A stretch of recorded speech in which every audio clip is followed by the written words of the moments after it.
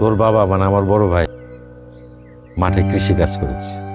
রোদে পুড়ে বৃষ্টিতে ভিজে মাঠে গেছে, কেন জানিস? যাতে তার ছোট ভাই মানে আমি লেখাপড়া করতে পারি। তোর বাবা কোনোদিন গরম ভাত, গরম তরকারি খেয়ে মাঠে কাজ করতে যায় নাই। গরম ভাত খেয়েছি আমি। আমার বড় ভাই কখনো একটা ভালো লুঙ্গি, একটা ভালো জামা পরে নাই। ভালো প্যান্ট শার্ট পরেছি আমি। মাঠে কাজ করতে করতে তোর বাবার পিঠে ঘা হয়ে গেছে। আর আমি শহরে আরাম এসে থেকেছি। আসিফ এখনও এখানে থাকে কেন? মানে? না মানে ও তো আসলে হোস্টেলে সিট না পেয়ে এখানে থাকতে আসলো।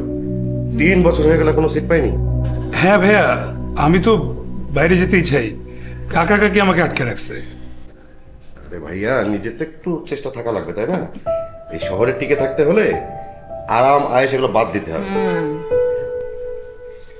কাকা আমি ঠিক করছি আমি মেসে চলে যাব। কে? মেসে থাকবি মানে? ওই একটা মেস পাইছি। আমার বন্ধুরা থাকে ওখানে। ওইখানে গিয়ে উঠবো। কেন? একসাথে কম্পিটিশনতে পড়ালেখা করতে পারব। এতদিন পর তোর মনে হলো যে মেসে থাকলে পড়াশোনা ভালো হবে তাই? কাকা আসলে একটা মানুষ বাড়তি পালা খরচের ব্যাপার। আপনি আমি রিটায়ার করছেন এখন। এই বাড়তি খরচটা তো আপনার দরকার নাই। টাকা আমার দিকে তাকা।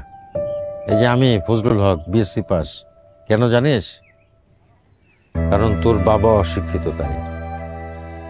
কি বলেন চাচা? হুম। তোর বাবা মানে আমার বড় ভাই।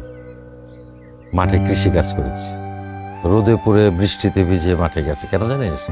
যাতে তার ছোট ভাই মানে আমি লেখাপড়া করতে পারি। তোর বাবা কোনোদিন গরম ভাত, গরম তরকারি খেয়ে মাঠে কাজ করতে যায় নাই গরম ভাত খেয়েছি আমি। আমার বড় ভাই কখনো একটা ভালো লুঙ্গি, একটা ভালো জামা পরে নাই। ভালো প্যান্ট শার্ট পরেছি আমি। মাঠে কাজ করতে করতে বাবার পিঠে ঘা হয়ে গেছে। আর আমি শহরে আরাম এসে থেকেছি।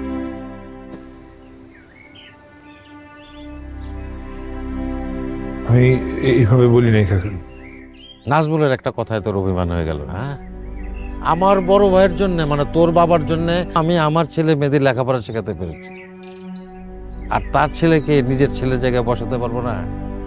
এত স্বার্থপর মনে হলো তোর কাকাকে।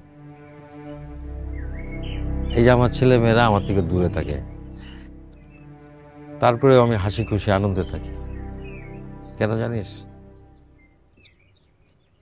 কারণ তুই আমার সাথে থাকিস তাই। আমি কোথাও যাব না। তোমার সাথে থাকব। সাথে থাকলে তো কাজ করতে হবে। ওই যে ব্যাংকের লোক বিরিয়ানি খেতে চেয়েছে না? হ্যাঁ। তো বাজার করতে হবে না? হ্যাঁ। চল।